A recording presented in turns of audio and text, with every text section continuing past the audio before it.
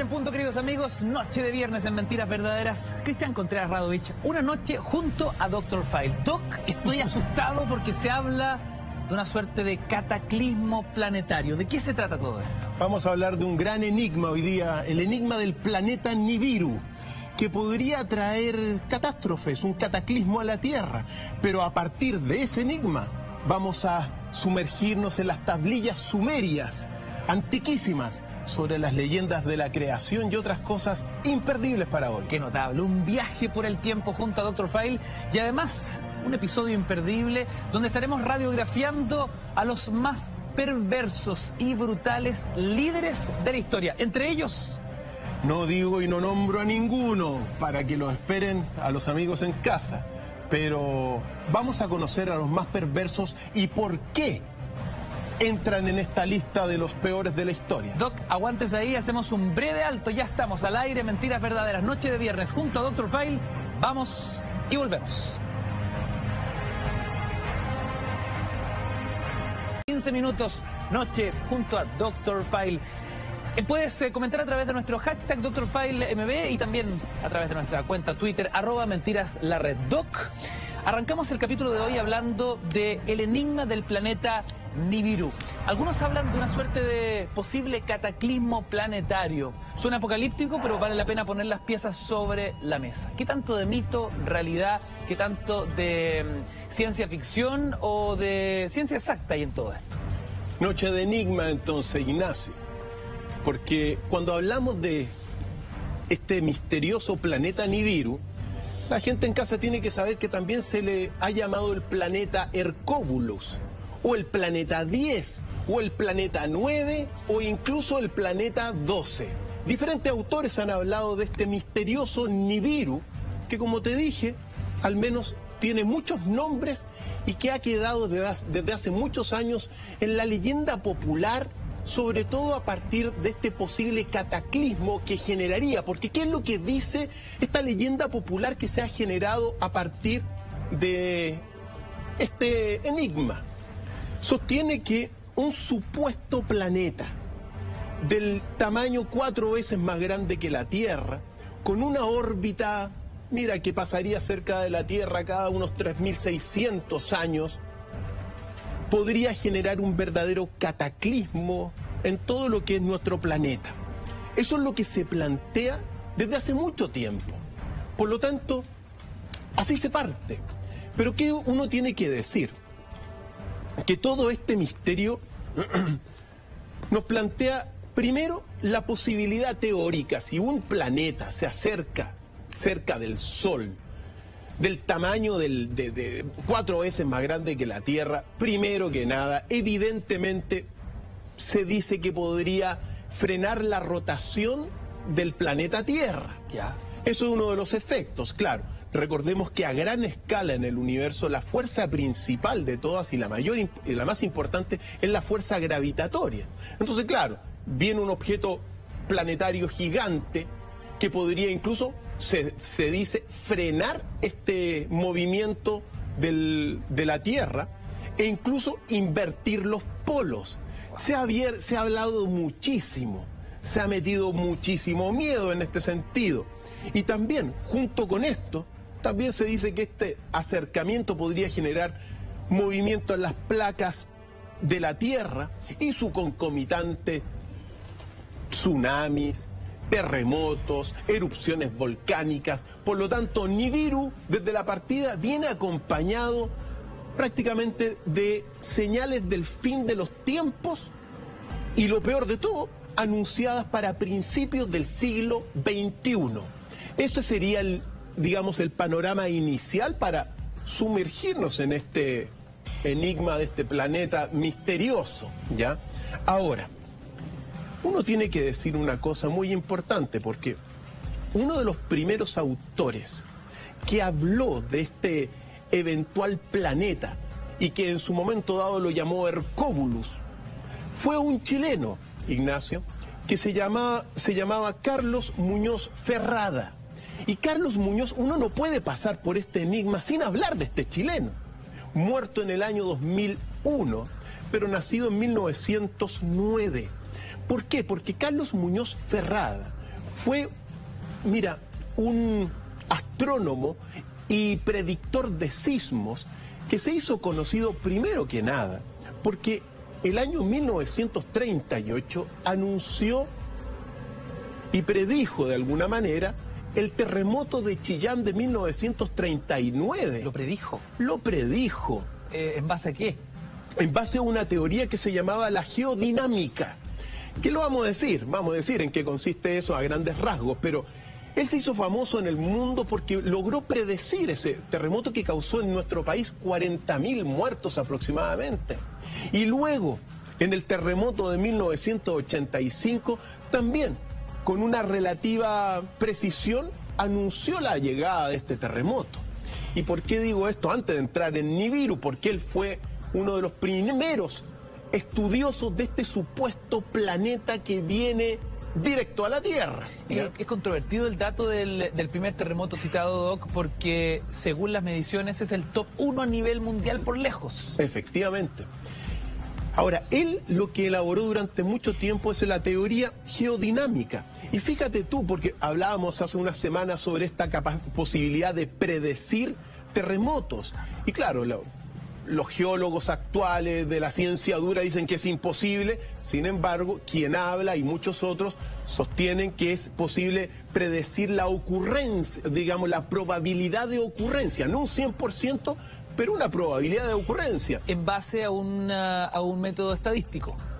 Y a un método que combina muchos factores, no solamente el método estadístico. En el caso de Carlos Muñoz Ferrada, incluía el estudio de la atracción gravitatoria de los cuerpos celestes, como, eh, como el Sol, como la Luna, como los planetas, pueden influir en los terremotos. También las llamaradas solares y los elementos químicos de las llamaradas solares, cómo pueden digamos, afectar en los terremotos. Asimismo, la fuerza de la Tierra, los sismos, las mareas y los volcanes y las digamos, el comportamiento volcánico, todo esto era parte de su teoría geodinámica que según, bueno, se hizo conocido mundialmente como una persona de bastante prestigio respecto de estas predicciones. Y como siempre suele suceder, nadie es profeta en su casa. Lo reconocieron más afuera de Chile que en nuestro propio país. Y en realidad, como están las condiciones hoy día, uno puede decir que en realidad fue un, digamos, un, eh, digamos, abrió el camino a estas nuevas teorías multifactoriales para, digamos, para predecir la probabilidad de ocurrencia de terremotos. Pero, junto con esto, era astrónomo. Y aquí viene el punto, porque durante décadas, Carlos Muñoz Ferrada estudió la órbita de un supuesto gran planeta que vendría hacia la Tierra y que en su momento dado se le llamó Hercóbulos, hoy día le llaman Nibiru, o el planeta 10, o el planeta 12, o el planeta 9. Son los nombres de este sube una masa muy grande que viene. Carlos Muñoz Ferrada dio algunas características de este supuesto planeta que viene y dijo que era un planeta rojo, de órbita elíptica pero con una cola como si fuese un cometa, por lo tanto le llamó planeta cometa, que no respondía a las leyes celestes, que tenía tres tipos de velocidades entre las tantas cosas que dijo, y que la velocidad más rápida de este, de este planeta, que supuestamente se acerca, es de 300 kilómetros por segundo, una milésima parte de la velocidad de la luz, entre otras cosas. Pero, como vale la pena escuchar a este Carlos Muñoz Ferrada, tenemos un testimonio antiquísimo de sus mismas palabras y lo que dijo y predijo para principios del siglo XX. El mismo autor habla en Mentiras Verdaderas. Vamos a escucharlo. Vamos. Es un cometa planeta porque tiene órbita elíptica como cometa y porque tiene gran masa. Como planeta. Como planeta. Yo lo llamo entonces planeta cometa. Este cuerpo no va a pasar desapercibido, todo el mundo lo va a ver. Y va a haber gran confusión. Más que confusión. Y le van a, a dar un sinnúmero de interpretaciones a asunto. Uf. Muchas. ¿Qué consecuencias sobre nuestro planeta? Las más terroríficas. Luego, cada cual arréglese la como pueda. El gran campo gravitacional que trae ese astro nuevo, que hace 13.000 años que no penetró y que 13.000 años atrás fue los tiempos de la Atlántida perdida, tiene resonancia y efectos que a los reflejos, que a la debilidad. Queda el gran cambio. Ese gran cambio, el cual usted viene estudiando de desde 1940, ¿verdad? Que viene estudiando ese astro. Van 59 años de documentación. Eh, ese gran cambio es humano, además es a la Tierra, porque indica un cambio de polos Es geofísico y humano. geofísico y humano. Y se habla de que va a haber un cambio de los polos magnéticos de la Tierra.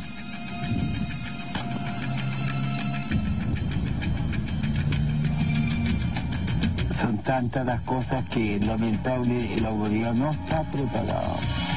El cambio viene. La destrucción viene. Y más que nada afectará a la humanidad en su existencia, en su producción.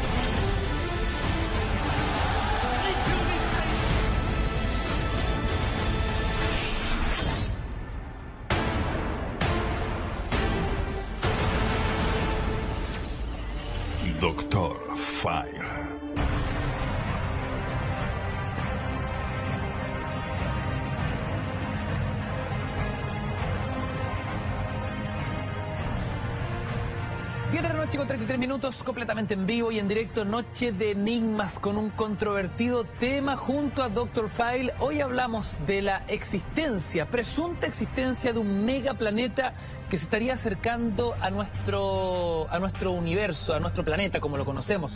Se estaría acercando al planeta Tierra, Doc. Antes del corte revisábamos esta declaración de Carlos Muñoz Ferrada. eh, un investigador que dedicó gran parte de su vida justamente a discutir sobre esta posibilidad con sus estudios astronómicos, ¿no? Muy controvertido lo que nos decía antes del corte, sería bueno ir recapitulando. anunció desastres, anunció un cambio geofísico en la Tierra producto de la llegada de este Hercóbulus oniviru o planeta gigantesco, eh, un cambio también en el ser humano, destrucción, cambio, Ignacio.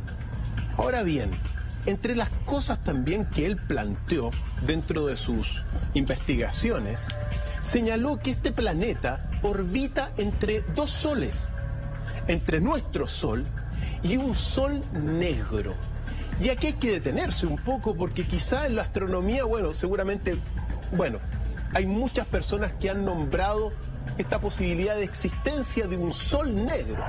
Pero quizá uno de los primeros fue Carlos Muñoz Ferrada, que habló que en realidad es posible que la Tierra, o sea, el sistema solar, no sea un- una estrella sola, sino que sea un sistema binario compuesto por este sol que conocemos y por un sol negro que viene a ser como el negativo de un sol como el que nosotros vemos. ¿Y por qué esto es muy relevante? Porque también uno tiene que recordar que la SS nazi en su castillo, donde se juntaban los jerarcas eh, más secretos, todos se juntaban en torno de un sol negro. Entonces hay algo que investigar ahí. Sea lo que sea, él plantea la idea de este sol invertido hace muchísimo tiempo. Y lo sorprendente, querido Ignacio y amigos, es que hace muy poco tiempo se descubrió un objeto galáctico ubicado a 300 años luz de distancia que ejerce una influencia sobre la Tierra y que vendría a ser un sol negro llamado Geminga. Esto es relevante porque de alguna forma, y aquí lo estamos viendo en pantalla, Carlos Muñoz Ferrada, de alguna forma predice la existencia de este objeto, de un objeto que es similar a un agujero negro, pero no es un agujero negro, es una estrella colapsada cuyas pulsaciones gravitacionales afectan la Tierra.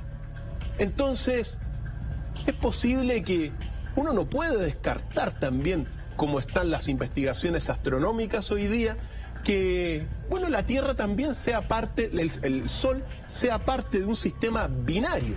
Sea lo que sea, según Carlos Muñoz Ferrada, este planeta Hercóbulus o Nibiru estaría amarrado a la fuerza gravitatoria del Sol y de este Sol negro. Y si todo esto es así, pasaría en un momento dado, como lo dijo en el testimonio, eh, muy cerca de la Tierra y sería observable a simple vista. Dicho esto, uno tiene que decir que a partir de Carlos Muñoz Ferrada, y quizá él es uno de los principales, comenzaron a proliferar después de él, mira, en realidad una serie de pseudo astrónomos, también uno puede decir bastantes charlatanes, anunciando catástrofes que vienen virus, que viene este planeta, y comenzaron a poner fechas del cataclismo que viene. Mira, no los menciono porque no vale la pena mencionar los nombres, pero hay algunos, digamos, de estos farsantes, particularmente estadounidenses. Una mujer que dijo que Nibiru llegaba el año 2003 y que incluso llamó a la eutanasia a todos los, digamos, a hacer la eutanasia a todas las mascotas. ¿Y por qué razón? Porque venía este cataclismo, Como una forma de, de, que no sufrieran. Efectivamente. Porque bueno, se presta a eso. Tú sabes cómo es, cómo estamos hoy en día. Entonces, se presta para eso. Lo que planteaba ella es que ese planeta gigante se iba a estrellar contra la Tierra. Se iba a estrellar contra la Tierra. Entonces llama la eutanasia a las mascotas y después de 2003, que no pasó nada, ella dice que en realidad era una mentira piadosa y que sigue abierta la posibilidad de que llegue Nibiru en algún momento dado, porque en gran medida Carlos Muñoz Ferrada dijo que iba a llegar a principios del siglo XXI. Ahora bien, después comenzaron a haber otros que comenzaron a, a asociar el planeta Nibiru con todo lo que es el 21 de diciembre del año 2012, las predicciones mayas. Y uno tiene que decirlo claramente. Otros farsantes, porque aquí se armó un escándalo sobre los mayas, que iba a quedar la escoba, y los mayas en sus cuatro predicciones astronómicas. Recordemos que tiene cuatro predicciones astronómicas y cuatro predicciones culturales los mayas. Pero lo que dijeron los mayas en su momento dado era que un cometa se iba a acercar y amenazar la vida en la Tierra, pero que no iba a chocar nada con la Tierra. Esa es predicción maya. Entonces, para el 2012 tú sabes todo el escándalo que se hizo, películas de Hollywood, que iba a chocar un planeta, que iba a chocar un cometa, que iba a quedar la escoba. Todo esto sumado a este eventual Nibiru que iba a aparecer y que no apareció. Ahora, ¿por qué digo esto? Porque todo el rato están poniendo muchos amigos, eh, bueno, que ahora viene Nibiru, por ejemplo, la última vez que se reunieron muchos, eh, bueno, investigadores de Nibiru fue a principios de este año, más o menos en marzo, si mal no recuerdo, donde dijeron... ¿Llegaron a algún consenso? Sí, llegaron al consenso algunos que llegaba a Nibiru en marzo del 2017. y no pasó nada. ¿Se dan cuenta? Entonces, todo esto, bueno, y ahora supuestamente que ahora viene en octubre, noviembre, octubre del año 2017 e incluso la última predicción, supuesta predicción es que en octubre del 2018 llegaría Nibiru y que dejaría la escoba. Y ese es el escenario. Entonces, ¿por qué digo esto y hago esta reflexión? Porque se ha prestado mucho para desacreditar todo esto. Cuando uno instala este elemento catastrofista eh, sin bases. Es irresponsable. Es irresponsable. Pero bueno, esas son las cosas. ¿ya? Y este es el escenario inicial de todo lo que ha sido Nibiru en todo lo que es la cultura popular, en la leyenda urbana, en, las, en lo que todos los amigos hablan, ¿ya? Es decir, un planeta catastrófico. Doc, si las eh, teorías planteadas eh, que ponían fecha de llegada de este megaplaneta eh, y que tomaría no solo contacto, sino que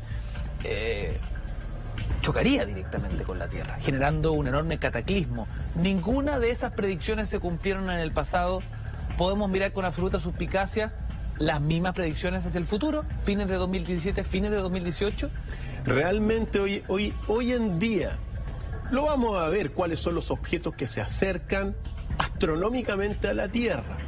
Pero, mira, si un planeta del porte de Nibiru, es decir, cuatro veces el tamaño de, de la Tierra, se acerca, primero gravitatoriamente los primeros planetas que debiesen mostrar ciertas perturbaciones en sus órbitas son los planetas eh, Urano, Neptuno y Plutón, ya los más lejanos del sistema solar. Y hasta el momento no hay evidencia de eso. ¿ya? También uno tiene que decir, se han sacado muchísimas fotografías del Sol y al lado un objeto que parece un planeta más pequeño al lado del Sol. Y muchos lo han puesto como que es Nibiru.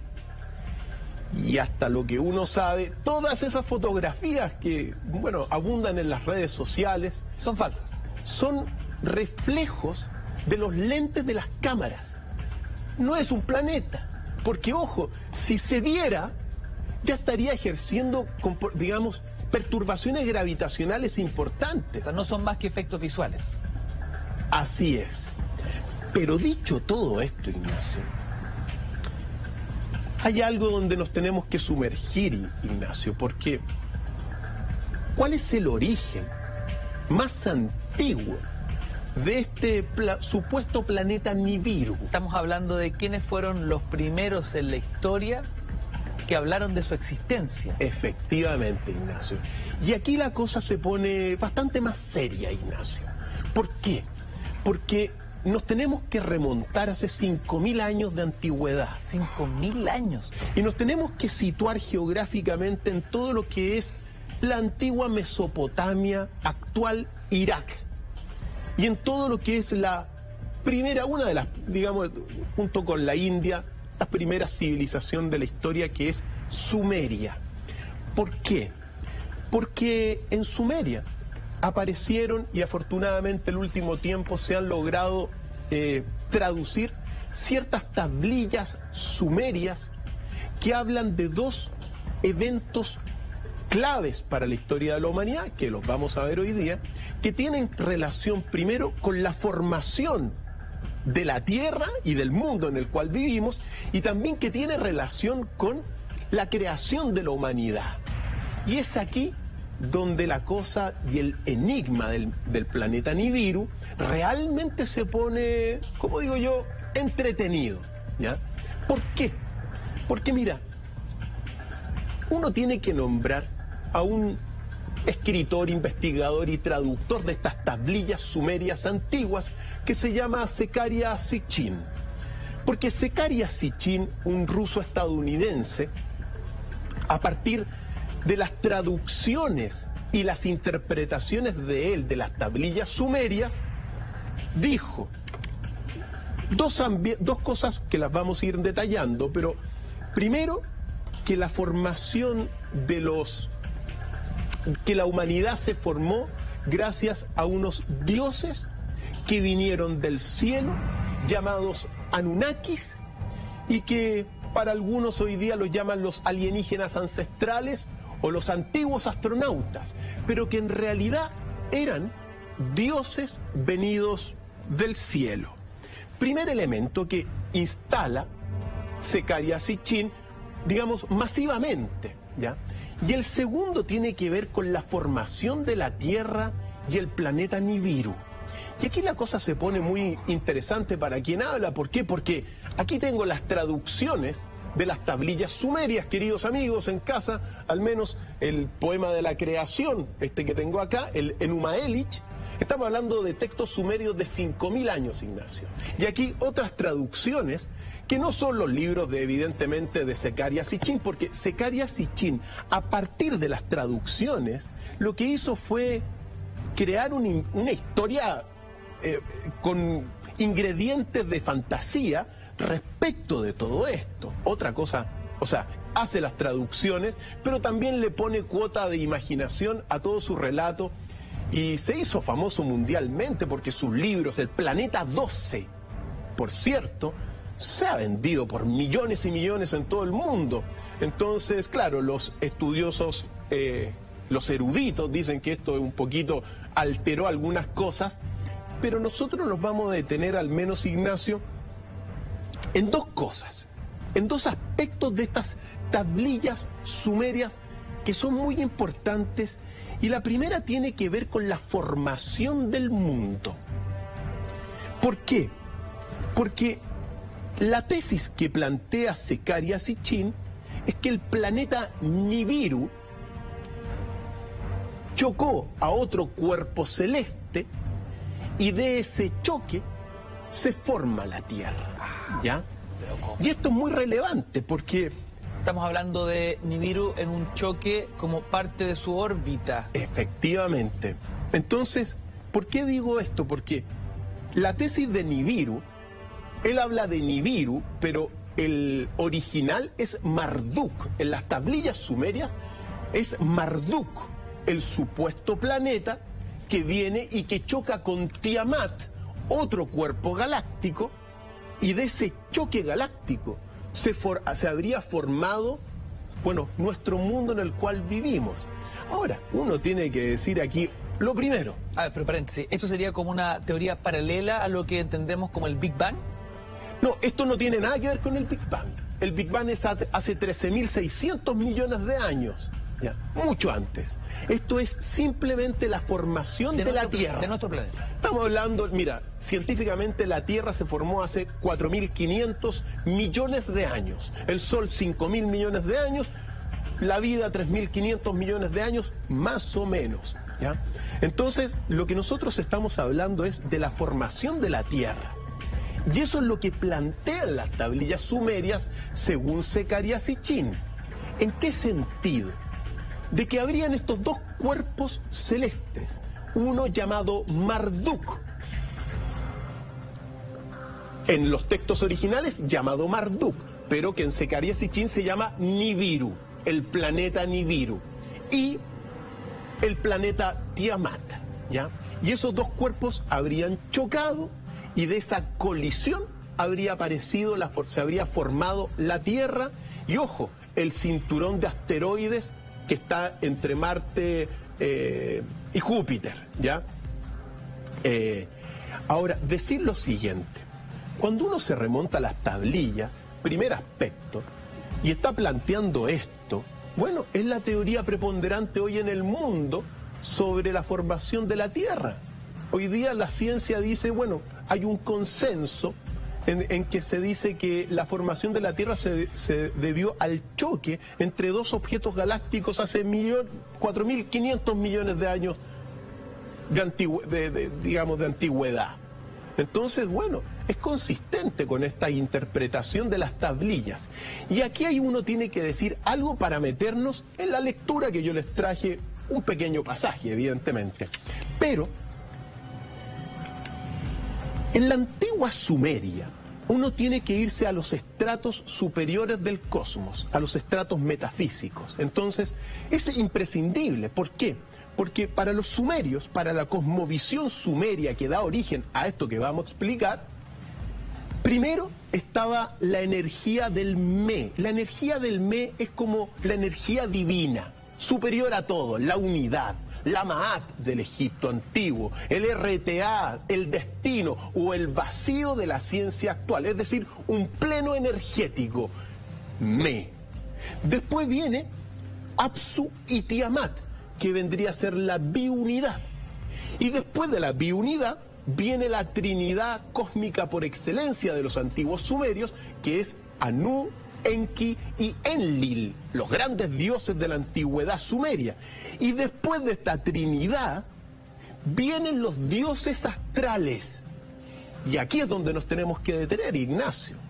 Porque para los antiguos sumerios, los planetas eran dioses entonces, eso es clave para la interpretación de Secarias y Chin y la que nosotros vamos a hacer. Y después vienen los dioses zoomórficos, dioses de los instrumentos, diablos, hasta el ser humano y el, el último en la categoría, ¿ya?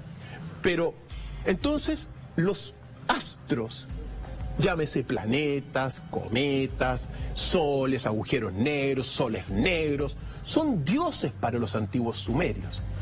Y aquí es donde yo me voy a remontar netamente a la traducción de, la, de este episodio que vendría a explicar la formación de la Tierra, Ignacio, diciendo lo siguiente, queridos amigos, estas son lecturas de tablillas de hace 5.000 años. Eso me gusta, Ignacio.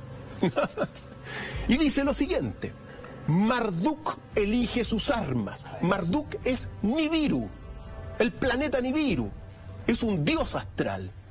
El arco, el rayo, la red, los vientos y los huracanes.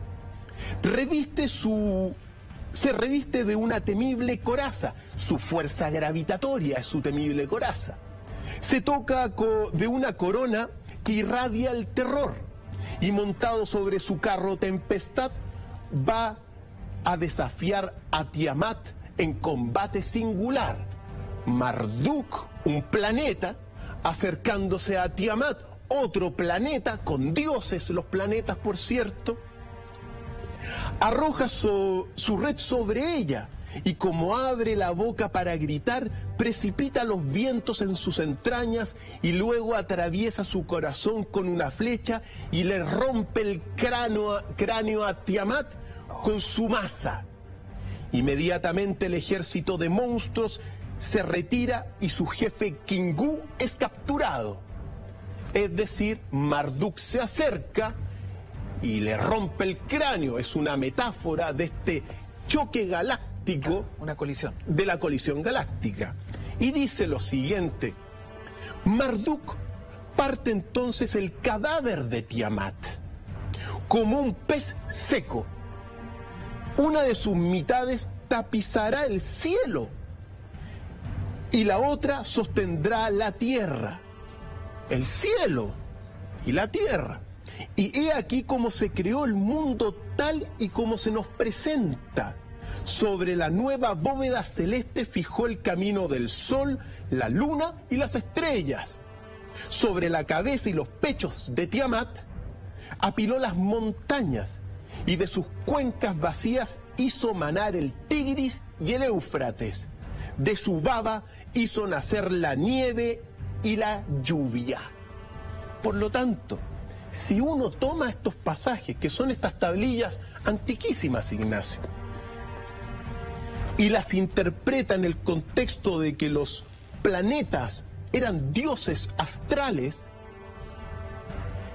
es posible que esta narración refleje lo que hoy día la ciencia está diciendo para la formación de la Tierra, que la Tierra se formó por la colisión planetaria. Es fantástico, Ignacio. Al menos este pasaje es fantástico porque algunos hablan de la arqueoastronomía, es decir, cómo textos antiguos pueden explicar fenómenos astronómicos. Es fantástico. Y son las tablillas que quedaron ahí y son las primeras interpretaciones que uno tiene. Doc, increíble que las últimas líneas de estos pasajes que estamos revisando de estas tablillas milenarias tienen cierta relación además con esos textos bíblicos que nos hablan de la creación. Es que eso es otra cosa, Ignacio. Mira, en realidad, Hoy día me he centrado en esto, pero cuando uno lee las tablillas sumerias, uno tiene que decir a los queridos amigos en casa que el origen de muchos pasajes bíblicos Vienen de acá. vienen de las tablillas sumerias. Y eso es así. Y recordemos que Abraham de Ur, que es el profeta de Israel, tenía toda la influencia cultural de los antiguos sumerios. Y es más, ya que me hiciste esta pregunta, me permito al menos cómo empieza el poema de la creación diciendo lo siguiente. Cuando en lo alto el cielo no había sido nombrado y cuando en lo bajo la tierra todavía no tenía nombre, detengámonos ahí nomás. Porque la creación en la Biblia también se da cuando se nombran las cosas. Y toda esa matriz, ese pensamiento, viene de las tablillas sumerias. Entonces, en realidad, bueno, grandes pasajes están graficados ahí. Y eso da, lo hemos hablado alguna vez, Ignacio, pero uno siempre tiene que decir eso. Gran parte de los textos bíblicos antiguos están en las tablillas sumerias. Ahora, Ignacio, así como se presenta la formación de la Tierra bajo esto que nosotros acabamos de señalar, de este posible choque planetario de dos astros, Marduk o Nibiru con Tiamat, de este choque, uno tiene que pasar después de este choque a la formación de la humanidad. Y esto es relevante para, bueno, para todos los amigos que les gusta conocer a estos, bueno, cómo se habría gestado la humanidad, porque lo primero que uno tiene que decir, que Nibiru, dentro de este panorama, vendría, y dentro de esta tablilla sumeria, vendría a ser el duodécimo planeta. Tuvo décimo planeta. Sí. En la antigua Sumeria, se, se- esta, concepción del sistema solar consideraba eh, Mercurio, Venus, Tierra, Marte, Júpiter, Saturno, Urano, Neptuno, Plutón, el Sol, la Luna y el planeta Nibiru que choca. Es decir, habrían sido 12 los eh, astros de este sistema. ¿ya? Después de este choque, según se cuenta,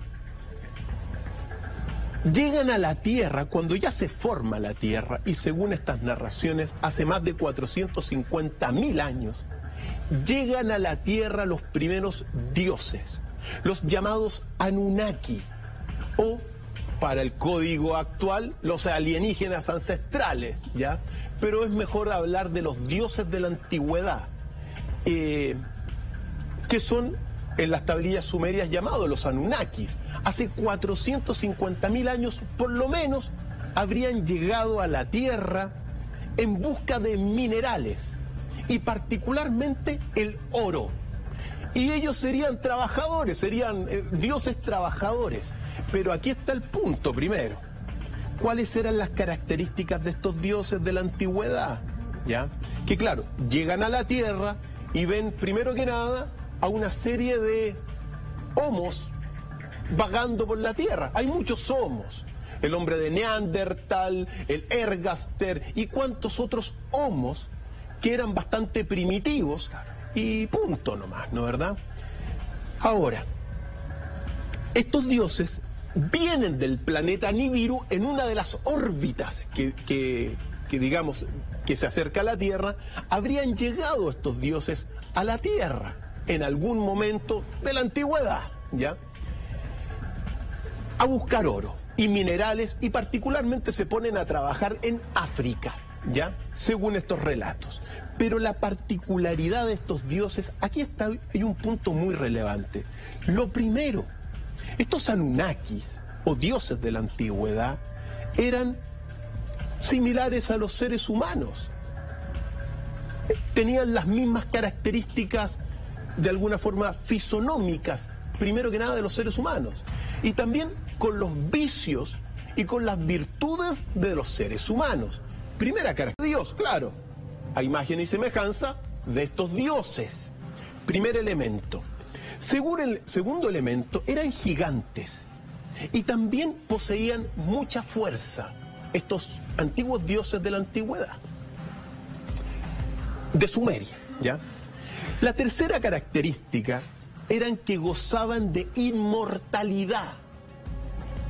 Una inmortalidad bastante relativa en realidad, pero para los humanos, estos que llegaron del cielo eran inmortales y que llegaron del planeta Nibiru eran inmortales para el hombre.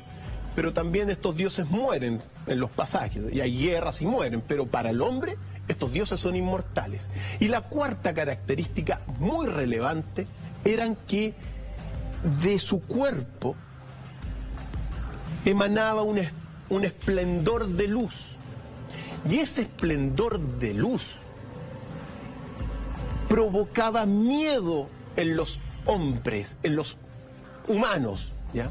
Doc, un segundo, seguimos repasando cómo la historia documenta la existencia de este planeta gigante que eventualmente se acercaría en algún minuto a latiendo mentiras verdaderas. Somos Trending Topic en Twitter. Comentas y participas con el hashtag DrFileMB en arroba mentiras la red. Además, eh, aprovecho de contarles que estamos regalando ejemplares de este escrito en el agua firmado por Paula Hawkins, la misma autora de La chica del tren. No confíes en nadie, ni siquiera en ti. Gentileza Editorial Planeta, escrito en el agua regalamos ejemplares a través de nuestro Twitter. Doc.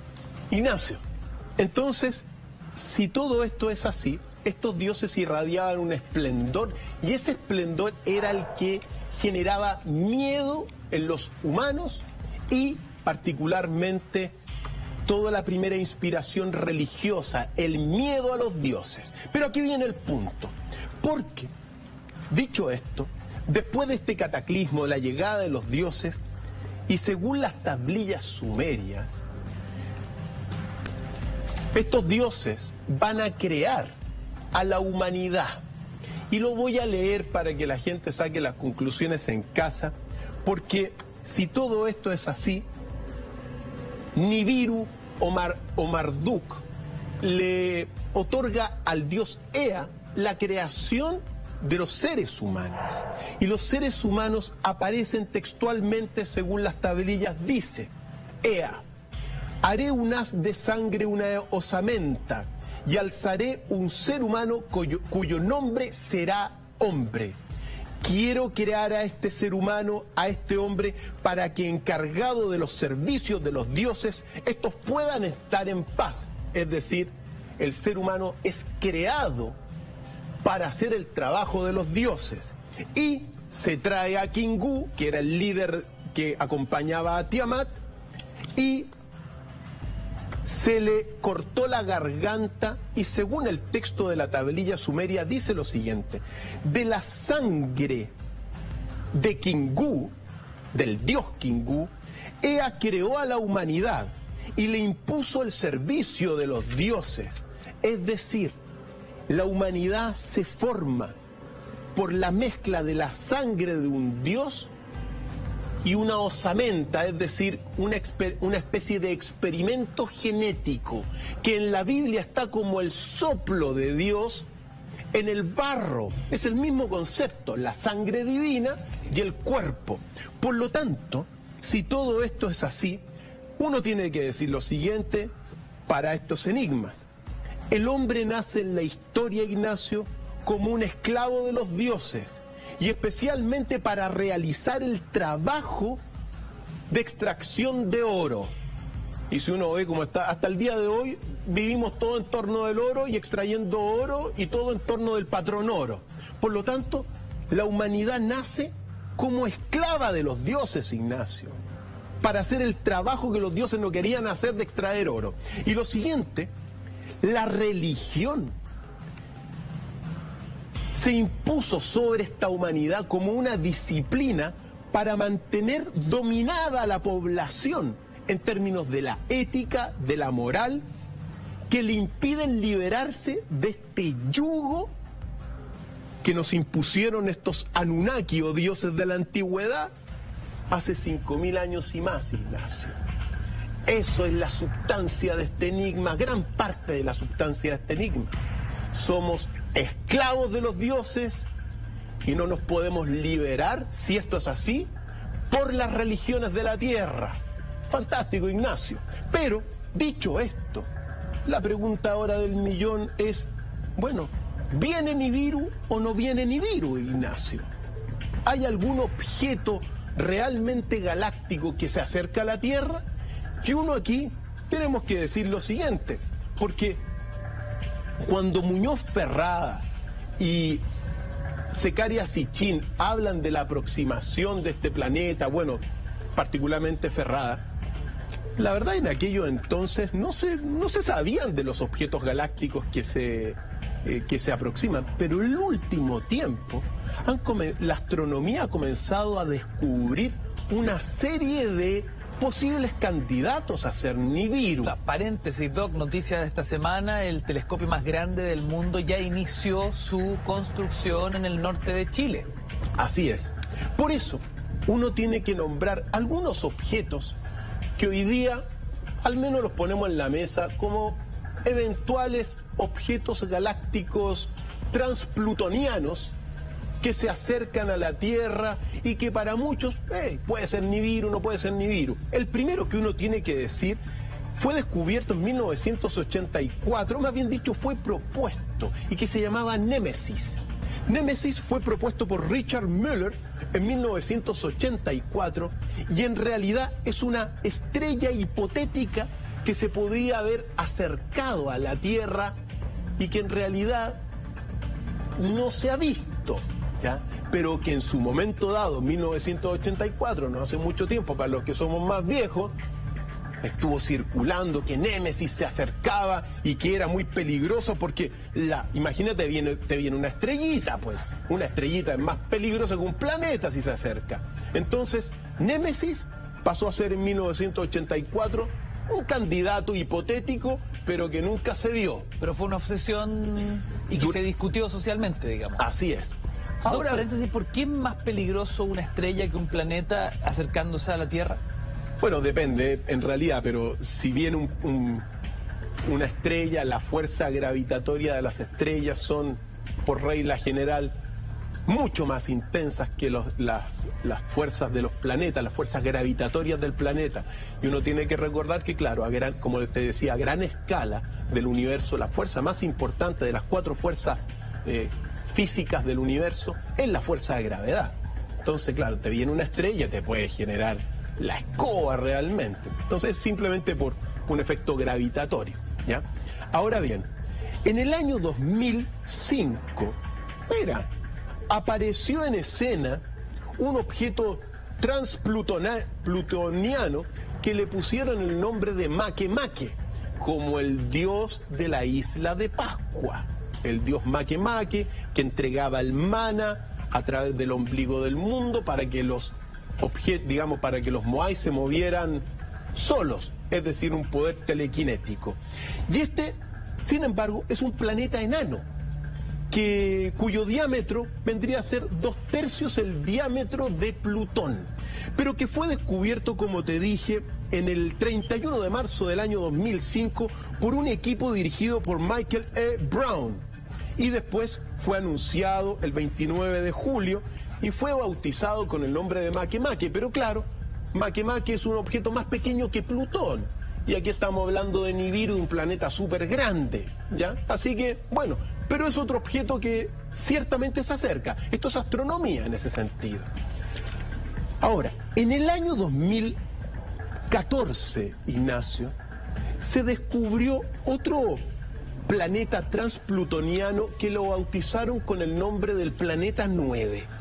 Y este planeta, que fue descubierto el 20 de enero de 2016 por Mike Brown y Konstantin Batygin, tendría una masa aproximadamente 10 veces la de la Tierra y un semieje mayor de varias unidades astronómicas. Es decir, aquí estamos hablando de un planeta gigante, Ignacio, ¿ya?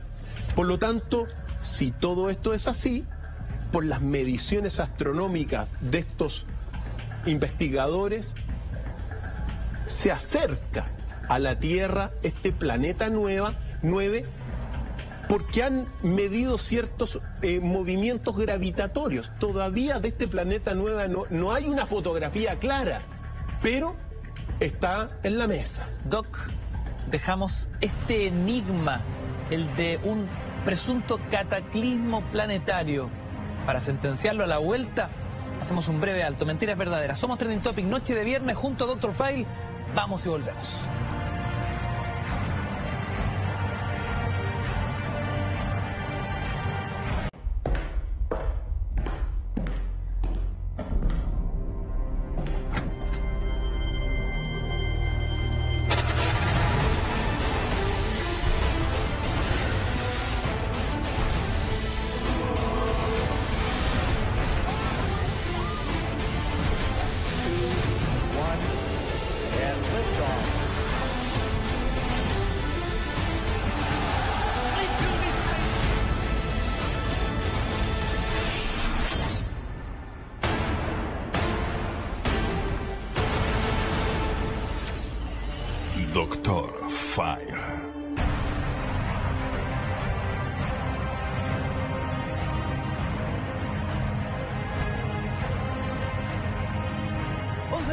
17 minutos en vivo y en directo, mentiras verdaderas como todas las noches a través de las pantallas de la red. Noche de viernes, noche del gran enigma de este planeta gigante junto a Doctor File, un planeta gigante que muchos creen, ya han creído a lo largo de la historia, se acerca indefectiblemente a la Tierra.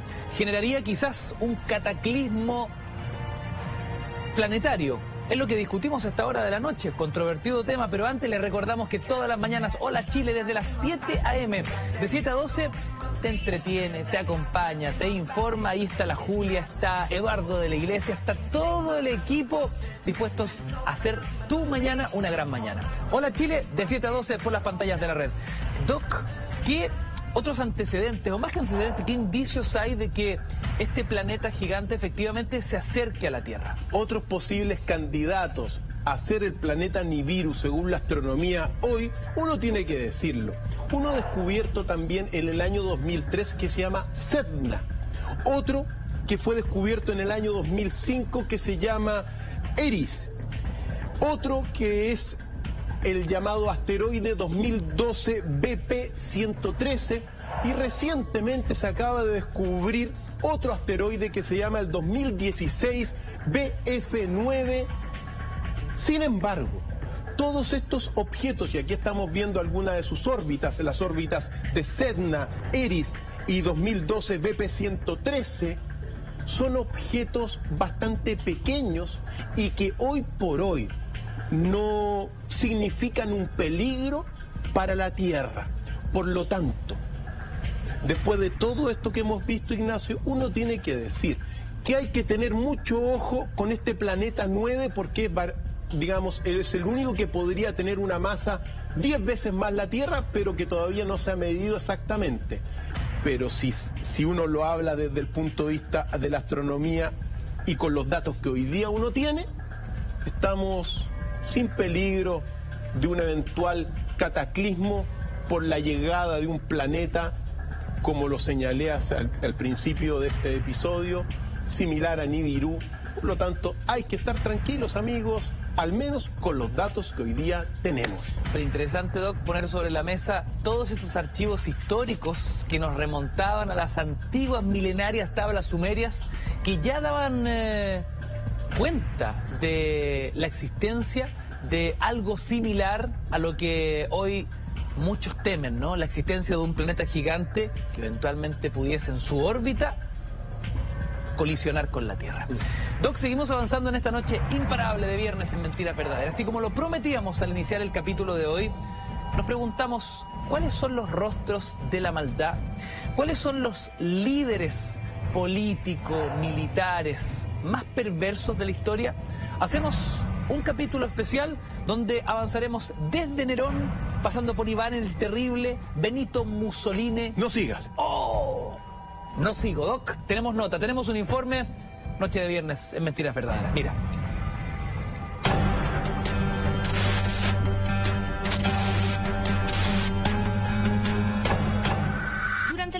Guerra Mundial, entre 1939 y 1945, los nombres de Benito Mussolini y Adolf Hitler se hicieron conocidos mundialmente.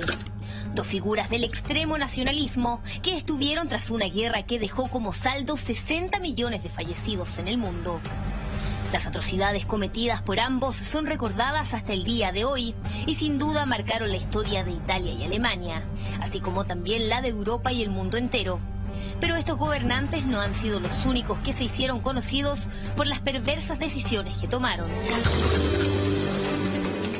El año 54 después de Cristo fue la época conocida históricamente como el esplendor del Imperio Romano, donde las colonias iban desde Gran Bretaña hasta el desierto del Sahara, todas bajo el mandato del emperador que se hizo conocido por las estatuas de su rostro.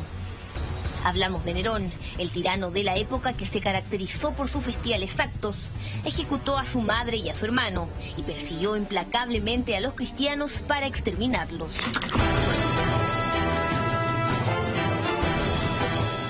Cientos de años después, el 451 después de Cristo, formaba su imperio el más recordado emperador de los hunos. Hablamos de Atila, el rey que en Roma era conocido como el azote de Dios. Se creía que Atila había sido enviado por los dioses para castigar a los pecadores, y fue conocida la frase que versaba, por donde pasa él con su caballo no vuelve a crecer hierba, debido a que arrasaba con todo a su paso.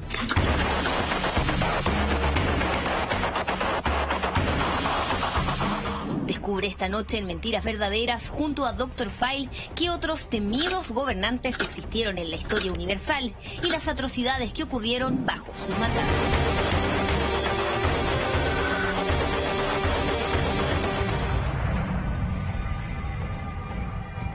Los rostros de la maldad a esta hora de la noche, más que una radiografía, más que una biografía, hacemos un prontuario de por qué estos y no otros son considerados los líderes más perversos de la historia. Doc, yo me pregunto, así como a nivel editorial, ¿no? El recorrido que iremos haciendo, ¿cuál fue el foco? ¿Por qué estos sí y otros no? Los rostros de la maldad, Ignacio, en la historia. ¿Cuáles son esos hombres más perversos, esos líderes y gobernantes más perversos? Y como tú dijiste, no vamos a hacer una biografía, vamos a profundizar en el motivo, según quien habla, yo soy el responsable siempre, de por qué los gobernantes que vamos a citar son los más perversos de la historia. Así que metámonos de lleno en las razones de por qué ponemos en esto, son algunos por cierto, por qué comenzamos con Nerón. Ojo, Ignacio, porque cuando nace Nerón, un astrólogo caldeo anunció, será rey, pero matará a su madre. Y cuando Claudio muere en el 54, su esposa Agripina, la madre de Nerón, hizo todo para que Nerón llegara al poder y entra en el poder gracias a su madre Agripina. Cuando entra a gobernar este emperador romano y comienza a saborear el poder absoluto, comenzó a mostrar su lado más perverso de todos los lados que uno puede imaginar. ¿Se embriagó con el poder, Doc? Por supuesto que sí. Él se apreciaba de ser un gran poeta, un gran artista. Pero lo primero que hizo, bueno, entre las cosas que hizo, no lo primero que hizo, no vamos a hacer una biografía, pero de paso,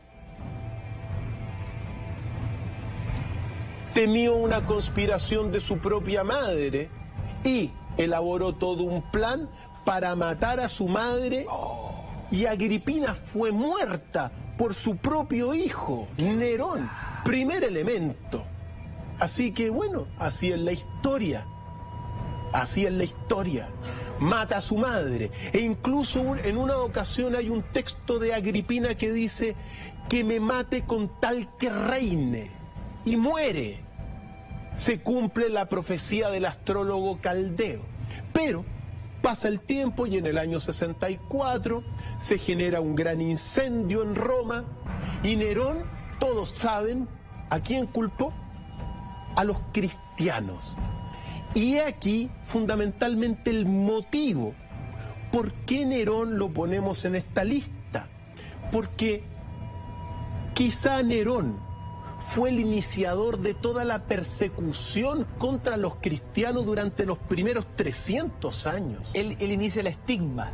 Él lo inicia en gran medida, lo- los culpa a ellos del incendio de Roma y comienza una, mira, una masacre de cristianos.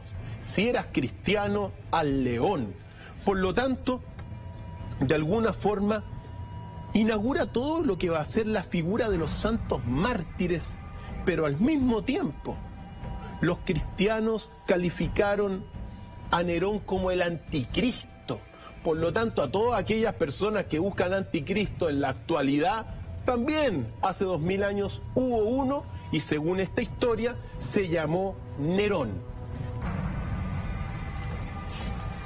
Eso es para partir, Ignacio. Nerón, un verdadero asesino de cristianos, Ignacio. ¿Ya? Ahora, Doc, seguimos avanzando en los llamados rostros de la maldad. Y me gustaría saber por qué razón entra en este ranking Joseph Stalin. entra en escena por qué Ignacio Stalin, ¿ya? Un máximo, recordemos que Stalin fue un máximo líder de la Unión de Repúblicas Socialistas Soviéticas, gobernó entre 1922 y 1953.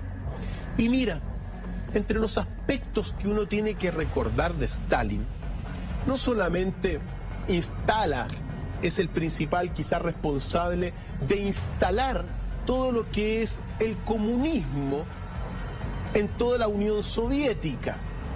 Hizo una serie de cambios a nivel de las tierras, eh, congregó a muchísimos trabajadores, pero al mismo tiempo todas las reformas que hizo Stalin generó una inmensa hambruna. Y aquí está el punto, ¿ya? Todo el modelo que instaló Stalin en la Unión Soviética durante aquellos años de la Guerra Fría o post Segunda Guerra Mundial, eh, an- antes de la segunda, antes de la, recordemos que Stalin es antes, estoy hablando de la, después de la Revolución Bolchevique en 1917, obviamente, uno tiene que decir que todas sus reformas, Ignacio, en la Unión Soviética, para bien o para mal, costaron la vida de aproximadamente, aproximadamente 20 millones de personas. Por lo tanto, cuando uno ve en la historia el recuerdo de esta figura de Stalin, uno lo puede poner perfectamente en uno de los más perversos de la historia, porque sobre sus hombros no, no fueron ni, ni 10, ni 20, ni 3 mil, ni 10 mil, ni 100 mil. En gran medida, la gran cantidad de personas que murieron durante el régimen soviético, particularmente durante el régimen de Stalin, fueron millones de personas, Ignacio. Eso fue el costo del comunismo en la Unión Soviética, Ignacio. Por eso, al menos uno tiene que decir que lo tenemos que poner ahí, lo tenemos que poner como uno de estos hombres que forzaron una colectivización, que forzaron todo el despliegue de, de, bueno, las reformas que hizo él allá, la tierra común, los soviets, pero que de paso le costó, el, le costó la vida a 20 millones de personas. Por eso lo ponemos en los segundos en la lista, Ignacio. 20 millones de víctimas. Así es. Ahora, si quieres, seguimos avanzando, porque tenemos otros. Benito Mussolini, ¿por qué razón forma parte de esta macabra lista de líderes perversos? Benito Mussolini, uno tiene que recordar a Benito Mussolini en términos de que, mira, no solamente fue una persona que se alió con, con los nazis, sino que también detrás de todo esto que es Benito Mussolini está la figura sobre todo de lo que se llaman las camisas negras. Y las camisas negras fue un grupo armado violento que persiguió precisamente a los socialistas y a los comunistas violentamente, Ignacio. Y uno tiene que recordar a Benito Mussolini sobre todo por este eh, episodio de represión que nos recuerda todo lo que es el fascismo en la Italia de la Segunda Guerra Mundial. Pero, ¿por qué uno también lo tiene que recordar de todas maneras? Porque aparte de ser un represor de estas ideas opuestas, eh, quizá una de las cosas que más impactó, y aquí está el punto, es el desenlace que tiene Benito Mussolini en la historia. Porque uno tiene que recordar que Benito Mussolini termina su vida siendo juzgado, siendo, digamos, ejecutado y su cuerpo fue colgado para la exhibición de todo el resto, Ignacio. Por lo tanto, ¿por qué lo nombramos? Porque de alguna forma eh, Benito Mussolini, mira, refleja cómo algunos de estos líderes debiesen haber terminado. Por eso lo recordamos, porque otros terminan de diferentes formas, otros se suicidan, pero este es ejecutado. Entonces, junto a la represión fascista tremenda. Y, ¿Y por qué aquí está, es lo importante? Porque también esta represión fascista se va a propagar en muchos regímenes y partidos de la derecha de diferentes partes del mundo. Entonces, a partir del fascismo de Mussolini, esto se extiende a todo el planeta prácticamente. Pensamientos fascistas, tremendamente eh, dualistas, tremendamente intolerantes, pero que invaden la política. Por eso es perverso. Doc, llama la atención que, a pesar de todo el poder que ostentó en su minuto Benito Mussolini, el fin de sus días termina simplemente con su cuerpo inerte expuesto en la plaza pública. Expuesto en la plaza pública, efectivamente, Ignacio. Expuesto en la plaza pública. Y así es como terminó Iván el Benito Mussolini. Ahora lo dejamos ahí, pero hay otro que hay que recordar, y aquí nos podemos detener un poquito más, Ignacio, que es Iván el Terrible. Me llamó la atención, Doc, la figura de Iván el Terrible, porque vi en su bibliografía semanal, siempre el Doc llega con muchos libros, justamente un texto que retrata la historia de Iván el Terrible. Por supuesto. Y uno se tiene que detener acá porque Iván el Terrible, un hombre, el primer zar de todas las Rusias, estamos hablando del siglo XVI, de alguna forma refleja el carácter también de muchos líderes soviéticos y rusos hasta el día de hoy. Algo de Iván el Terrible tiene que tener Vladimir Putin. Por eso, uno tiene que al menos mencionar algunos aspectos de, de, Iván el Terrible en términos de que él nace y se casa con Anastasia Romanov y es muy feliz Después se va a terminar casando con, bueno, va a tener siete esposas, una las mata, otras desaparecen, etc.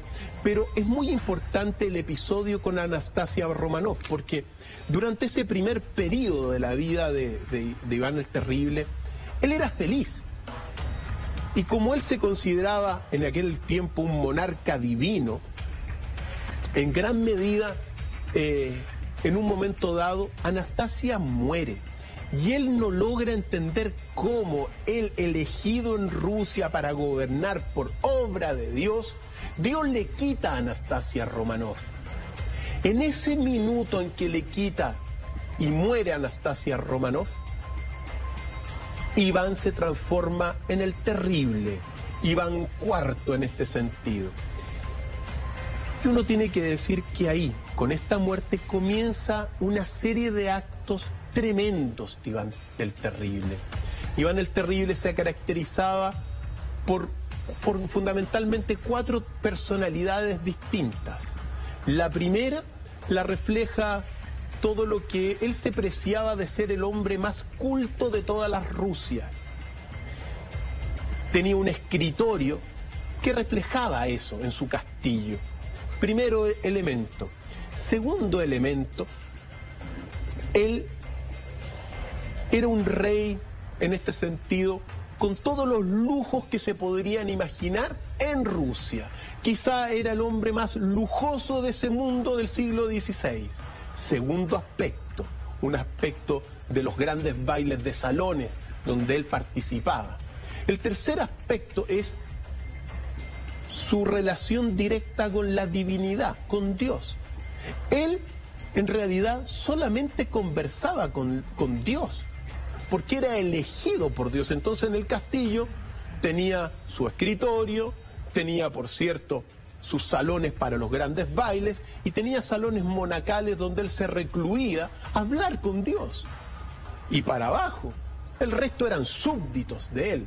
No, no dialogaba con nadie, solo dialogaba con Dios. Y el cuarto aspecto, que es donde nos tenemos que sumergir, es el aspecto más siniestro de Iván el Terrible, que tiene relación con todo lo que es, mira, las catacumbas que tenía en su castillo. Porque a eso de las de la tarde, cuando el sol comenzaba a caer en el horizonte y la noche caía sobre su castillo, él le gustaba meterse en sus catacumbas donde estaban todos los hombres que estaban siendo torturados, bueno, por todos sus guardias. Entonces, a él le gustaba torturar, Ignacio. Él gozaba torturando y viendo el comportamiento de las personas ante la tortura. Y al mismo tiempo, cuando se vuelve así, comienza a, tener delirios de persecución muy importantes, Ignacio, que lo llevaron a realizar una serie de acciones punitivas contra diferentes ciudades de Rusia. ¿Y por qué uno no tiene que olvidar a Iván el Terrible? Porque en 1569 hizo una, bueno, comandó una misión purgativa contra una ciudad que se llama Novgorod. Y me permito leer, estas son algunas de las, digamos, estos son textos sacados de las cartas de Iván el Terrible. ¿Y qué es lo que hizo Iván el Terrible con su hijo primogénito llamado Iván en esa ciudad de Novgorod? Para que uno se imagine cómo era Iván. Y dice lo siguiente. Habiendo llegado a la ciudad de Novgorod, para purgarla, porque él decía que esa ciudad era una ciudad que estaba en contra de él, debido a sus delirios de persecución, Iván se aplicó con entusiasmo a su misión justiciera. Todos los días en presencia suya y de su hijo, llevaba un millar de vecinos, notables, mercaderos o, simples ciudadanos a la Plaza Mayor. No había interrogatorios, no se oía a los testigos, no se pronunciaban alegatos ni sentencias por el solo hecho de ser habitante de Novgorod, ciudad maldita, merecían la muerte. Por pura crueldad refinada, los maridos eran torturados delante de sus esposas, las madres delante de sus hijos, les daban latigazos, les rompían los miembros, les cortaban la lengua, la nariz los enmasculaban y los tostaban a fuego lento. Luego ataban sus cuerpos sanguinolentos y atormentados a unos trineos por la cabeza o por los pies y los lanzaban cuesta abajo hacia el Volhov, hacia un lugar donde el río no se helaba ni en lo más recio del invierno. Allí se hundían en las aguas heladas familias enteras, las mujeres con sus maridos, las madres dando el pecho a sus hijos. Iván y su hijo no se cansaban nunca del espectáculo. Según el zar, para conocer los misterios humanos no había nada más instructivo que observar las reacciones de una víctima indefensa enfrentada al dolor y la muerte. Qué locura. Así era Iván el Terrible. Terminó su vida matando a su propio hijo heredero de un bastonazo en la cabeza, Ignacio. Pero Tenemos otro que lo tenemos que poner en la, en la lista de estos más perversos, Ignacio. De hecho, Doc, después de esta descripción de Iván el Terrible, ¿qué queda para Mao? Mao Zedong o Mao Zedong, Ignacio, que es uno de los padres del comunismo, junto con... Ahí está. Ahí está. Con Marx y Lenin uno puede considerar a, este hombre un padre del comunismo. Y en este sentido, no solamente Mao participó en la fundación del Partido Comunista en China en 1921, sino que después con el tiempo gobernó China de 1949 a 1976. ¿Y por qué digo esto? Porque, mira, dentro de todas las reformas muy similares en gran medida a lo que le ocurrió también a Stalin, reformas tremendamente eh, devastadoras para las clases trabajadoras y obreras y campesinas, Ignacio, sino que, bueno, mira, el costo de todo lo que fue esta revolución comunista en, la, en, en, en China, Mira, el total de todo habría costado unos 65 millones de personas. Todo lo que es la revolución comunista. Y por lo menos, mira, según las cifras, por lo menos más de 20 millones de personas murieron bajo el mandato de Mao Zedong. Entonces, cuando uno dice, claro, venerado, pero a costa de 20 millones de personas, Ignacio. Entonces uno dice, o sea, ni Iván el Terrible mató a 20 millones de personas, mató a muchísimas, torturó a muchísimas, pero no llegó a las 20 millones de personas, ni, ni siquiera en aquel entonces. Entonces, cuando uno ve esta figura de Mao Zedong, conocida sobre todo por lo que fue la revolución, la revolución comunista de Mao, la revolución cultural. Oiga, Doc, es un número realmente insólito, brutal. Fíjate, Ignacio, O sea, eh, en Chile somos hoy, ¿cuánto? 17 millones de habitantes. O sea, es el exterminio de todo Chile y, y- y falta gente. Faltan millones de personas para llegar a la cifra que la historia documenta fue el exterminio protagonizado por Mao. Efectivamente, Ignacio. En realidad, Mao, en un momento dado, uno tiene que recordar que, claro, lo que más se conoció popularmente fue todo lo que fue la revolución cultural, que instaló una serie de reformas, Ignacio. Mira, entre las cosas que instaló, uno recuerda, por ejemplo, prohibió las moscas. ¿Cómo prohibió? Prohibió las moscas. ¿Por qué razón? Eh, por la higiene. Entonces todo el mundo tenía que estar matando las moscas. Por ley. Por ley, Ignacio. Entonces, es revolución cultural. Después también, ojo, prohibió las palomas. No podían haber palomas en China en su momento dado. Entonces, todo el cartoneo de las palomas volando desapareció de. Pues claro, pudo haber sido. Incluso entre los edificios ponían mallas para capturar las palomas y matar a las palomas. Revolución cultural de Mao. Pero bueno, eso es lo que se conoce muy venerado también. Pero el costo.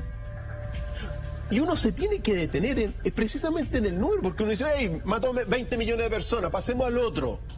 Momentito, momentito. 20 millones de personas, Ignacio. Entonces, por eso uno tiene que ponerlos eh, en esta lista, a pesar de que otros los idolatren, que sea prácticamente un padre del comunismo, pero las cifras son esas. Ahora uno dice 20, la revolución comunista costó 60 millones, 65 millones de personas aproximadamente en China. Y gran parte de eso se lo llevó Mao Zedong. Entonces, bueno, ahí están la- las cifras, pues. Entonces, esos son los experimentos sociales que se han hecho en nuestro, en nuestro mundo. Por eso, eh, ese es el costo de haber instalado y reafirmado esta ideología en esa parte del mundo.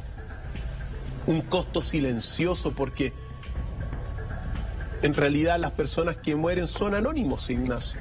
Son personas que la historia no los va a recordar son personas que son en los libros aparecen simplemente como un, un número, sin embargo uno los tiene que poner porque son precisamente eso, personas totalmente anónimas que no ejercieron ninguna influencia política mayor, pero que fueron el costo de la instalación de este, bueno, experimento comunista en China.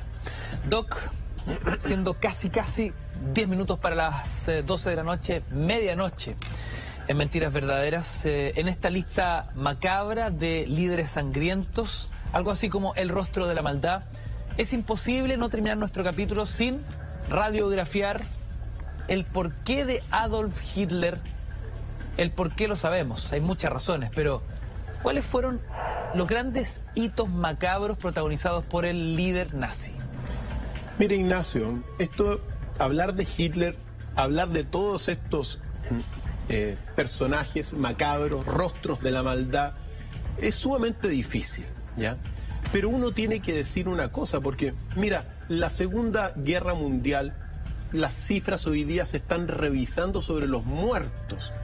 Se habla de 60 millones hasta 70 millones de muertos en toda la Segunda Guerra Mundial.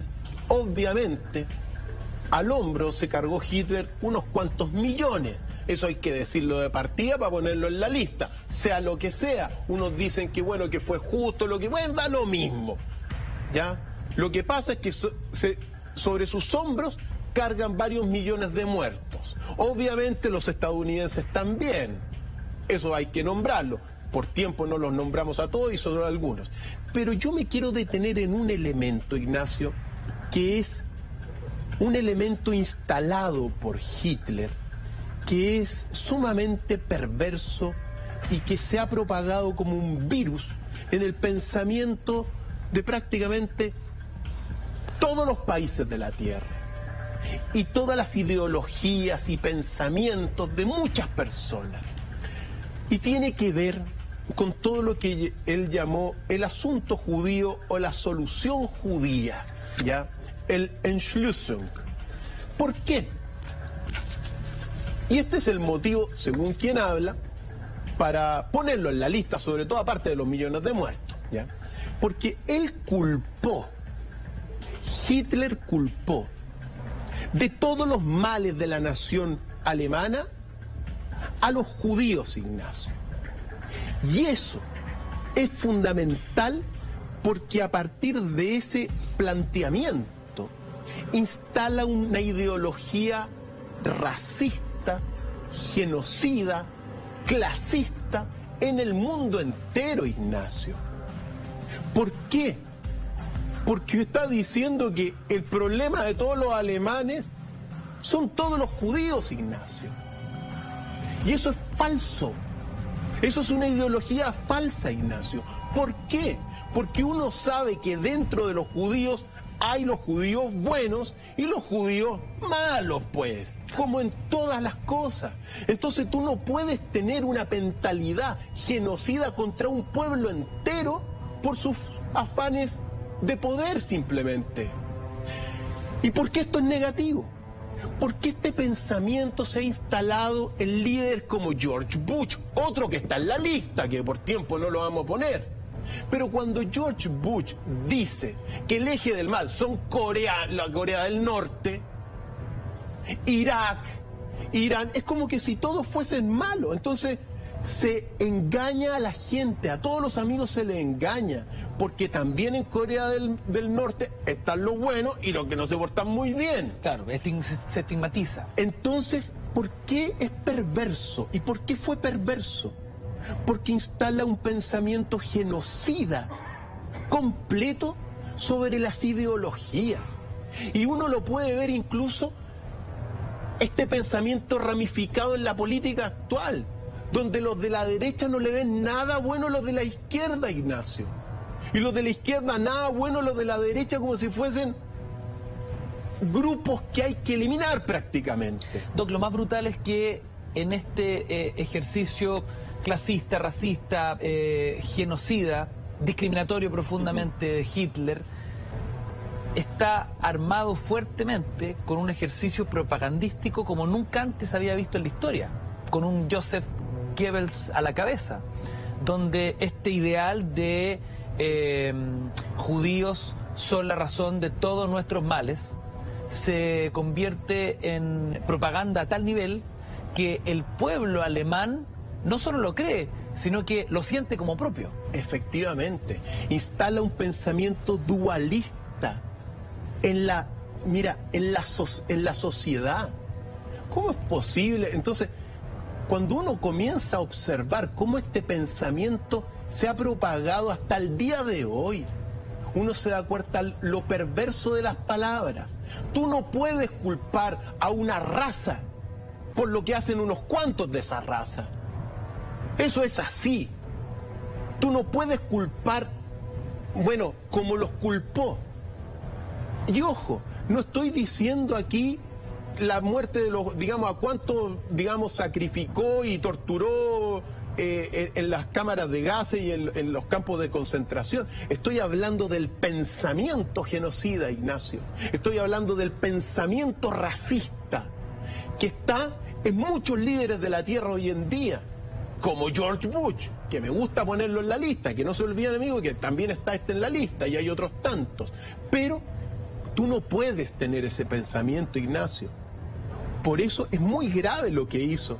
Cuando uno dice todo, que todo es... Porque esto también se, se propaga este pensamiento al clasismo social.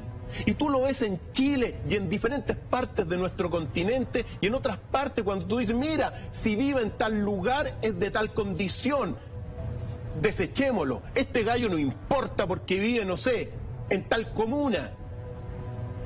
Entonces, no, eso no es correcto. Y por eso Hitler.